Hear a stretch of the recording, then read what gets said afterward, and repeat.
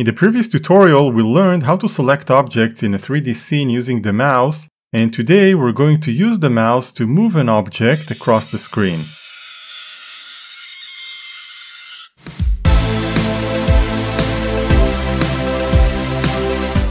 Okay guys, we're going to continue from where we left off in the previous tutorial on 3D picking, so make sure to watch that first. You can find the link in the video description.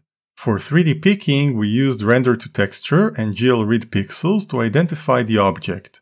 In order to move the object, we're going to take on a purely math approach called raycasting. An excellent reference on this is an article by Anton Gerdelan, as well as a YouTube video by ThinMatrix.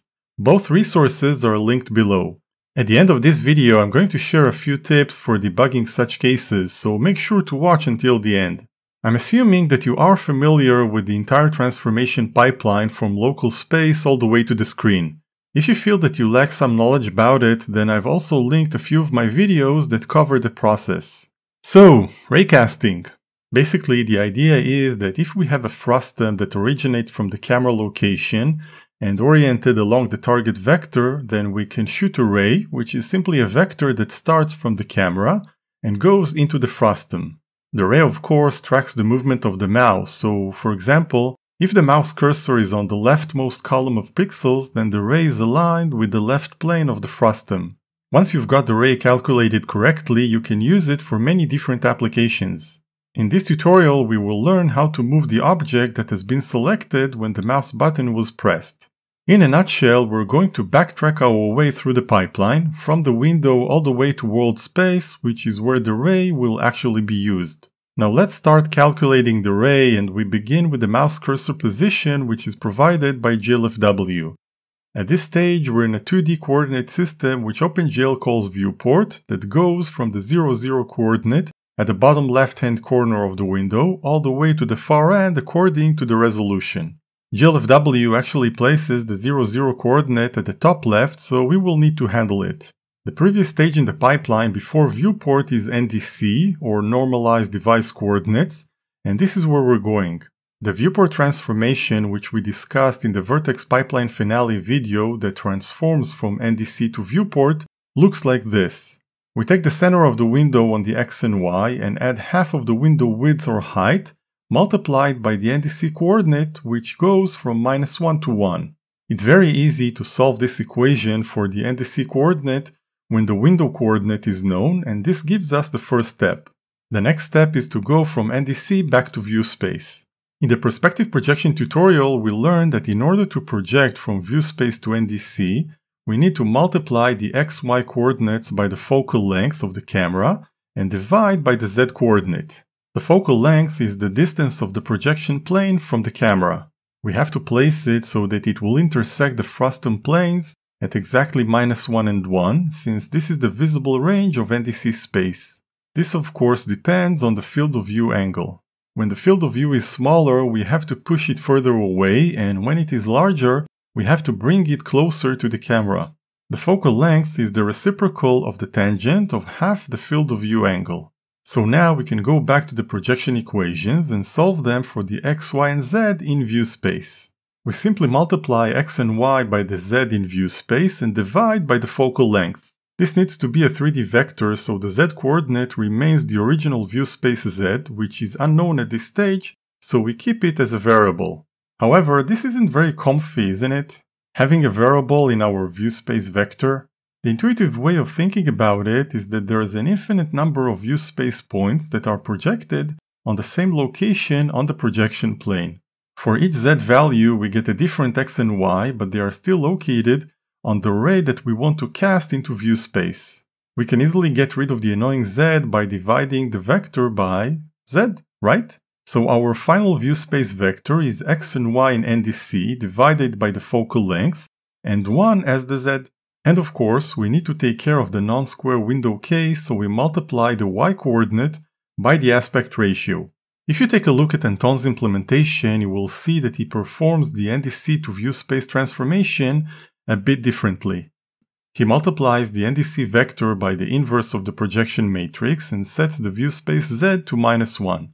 This minus 1 is because he's using a right-handed coordinate system and I'm on a left-handed system. The two methods are essentially equivalent and in the source code of the tutorial you will find both so you can choose whichever you like. You should get the same result. Okay, now that we have the view space vector, how are we going to use it? Well, for this demo, my decision in terms of a user interface is to move the selected object on a plane which is perpendicular to the camera target vector. In other words, the object will retain its view space z coordinate and only the x and y will track the mouse. Since the view space vector that we calculated has 1 in its z coordinate, we just need to scale the entire vector by the view space z value of the selected object, and this will provide us the intersection point of the ray with the z plane of the object. The full equation of intersecting a ray with a plane is a bit more complex, but in this specific case, scaling by z will suffice.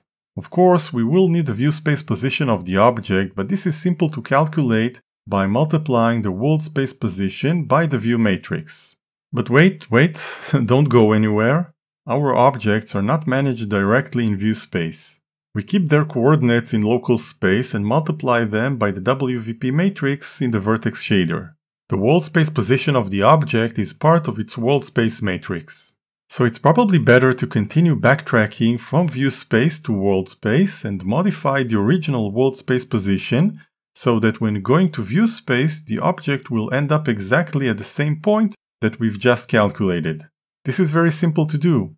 We just need to multiply this view space point by the inverse of the view matrix, and this will give us the new location of the object in the world.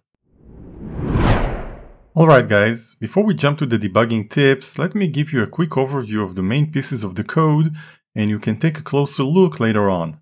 So the main render function still has a picking phase and a render phase. The picking phase is the same, we render the object ID into a texture.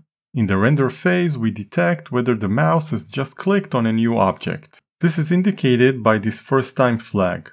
As long as you keep the button pressed, we want to continue with the same object. But since this is the first time, we read the pixel info and store the object ID.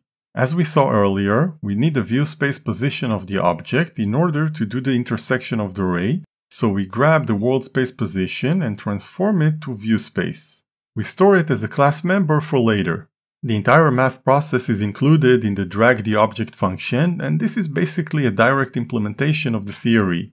Transition from window coordinates to NDC, from NDC to view space, intersection of the ray with the object plane in view space, transition from view to world and storing the new world position so that it can be used for the actual render. As you can see, we have two implementations of the transition from NDC to view space. First, we have my, um, uh, let's call it the explicit implementation using the reversed projection equations. And then we have Anton's implementation, which uses the inverse of the projection matrix. Okay, so now for the tips, and I actually have three. Tip number one is to start with a square window. Whenever I have to play with a projection matrix, I always get things working in a square window where the aspect ratio is 1. Then, if I switch to a non-square window and things don't work correctly, I know that it probably has something to do with the aspect ratio. It's easier to narrow down the problem this way. Tip number 2 is to align view space with the world. This means placing the camera at the origin and setting its target vector to be parallel to the z-axis. When you reach view space, you're basically done. You can then move and rotate the camera, and if things don't work, you know that something is broken in the transition from view to world space. And tip number 3 is to disconnect the camera from the mouse. My default implementation of the camera up until this point moves the camera along with the mouse. But this means that we are rotating the camera while moving the object at the same time, which makes it more complex. The demo of this tutorial starts with the camera being disconnected from the mouse, so you can move using the keyboard and the mouse is used exclusively for controlling the objects. When you click the spacebar, the camera is again connected to the mouse so you can rotate it. You'll see that it's much easier for debugging. Okay guys, that's it for today. If you found this tutorial useful, please hit the like button and subscribe. Thank you very much for watching and I hope to see you in the next tutorial.